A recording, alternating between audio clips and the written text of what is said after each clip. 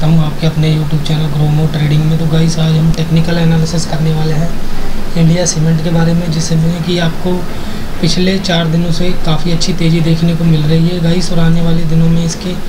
क्या टारगेट निकल कर आ सकते हैं और किस तरीके से हमें, किस माइंड थॉट से इसमें एफ़ एंड ट्रेडिंग करनी चाहिए या इन्वेस्टिंग करनी चाहिए, वो जानेंगे उसी के बारे में। तो बने रहिए वीडियो के साथ गाइस आप यहाँ पे देखेंगे तो गाइस ये काफ़ी अच्छा कंसोलिडेशन रेंज निकल कर आ रही है गाइस जो कि आपके सामने है, ये वाली रेंज एक सौ चौरासी रुपये से लेकर और ऊपर की साइड में आप देखेंगे तो कहीं ना कहीं ये इसका रेजिस्टेंस लेवल है दो सौ चार रुपये इस लेवल पे काफ़ी अच्छी कंसोलिडेशन हुई है गाइस और ये हमने डेली टाइम फ्रेम का चार्ट लगा रखा है। और ये कंसोलिडेशन का ब्रेकआउट देने की पॉसिबिलिटी इस बार काफ़ी अच्छी बन बन रही है गाइस क्योंकि आप देखेंगे कहीं ना कहीं मल्टीपल टाइम का इसने ये रेजिस्टेंस को टच करके इसको रेजिस्टेंस को वीक कर दिया वीक कर दिया है गाइस तो उस अकॉर्डिंग आप देखेंगे वन बार टू बार थ्री बार तीन बार यहाँ पे हो गया चौथी बार यहाँ पे हो गया। अब यहाँ पे देखेंगे आप तो पाँचवीं बार यहाँ पे रेजिस्टेंस को वीक कर दिया है। अब यहाँ पे जिन्होंने पैसा बनाया है गाइस सेल करके, अब वो दोबारा से यहाँ पे उसी क्वांटिटी में पैसा सेल करने के लिए लगाने वाले नहीं हैं गाइस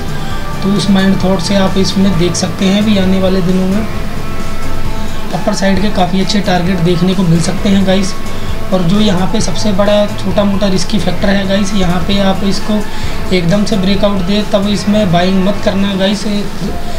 दो सौ चार रुपये के ऊपर इसको बाइंग तब करना जब यदि ऐसा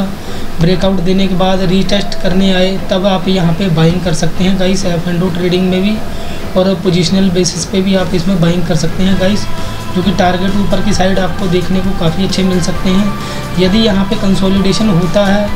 इस वीक से लेकर अगले वीक के लास्ट ट्रेडिंग सेशन तक,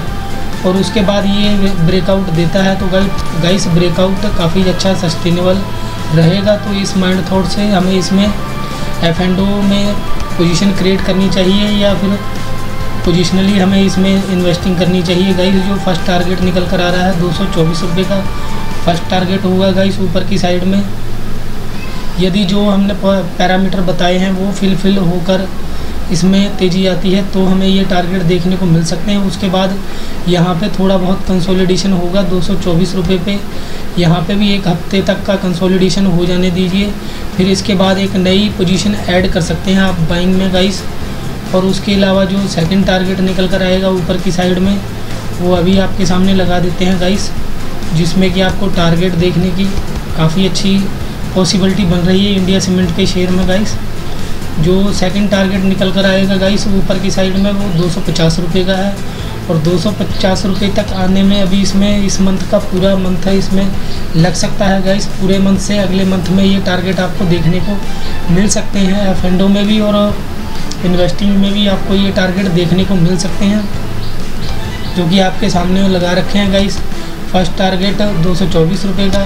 सेकेंड टारगेट है, दो सौ पचास रुपये का गाइस और जिस भी पर्सन को एफ़ एंड ट्रेडिंग लेकर भी पर दिख रहा है बैंक निफ्टी में तो गाइस वो हमारे वीडियो के डिस्क्रिप्शन पे दिए गए लिंक से हमारा टेलीग्राम ग्रुप ज्वाइन कर सकते हैं।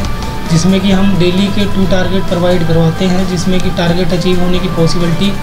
60 से 70 परसेंट होती है गाइस और जिस भी पर्सन का अभी तक डीमेट अकाउंट ओपन नहीं हुआ है, वो हमारे वीडियो के डिस्क्रिप्शन पे दिए गए लिंक से अपना डीमेट और ट्रेडिंग अकाउंट ओपन करवा सकता है और अपनी ट्रेडिंग जर्नी को स्टार्ट कर सकता है। और गाइस जिस भी पर्सन ने अभी तक हमारे यूट्यूब चैनल को सब्सक्राइब नहीं किया है तो ऐसी टेक्निकल इन्फॉर्मेशन के लिए हमारे यूट्यूब चैनल को सब्सक्राइब कीजिए। Thank you for watching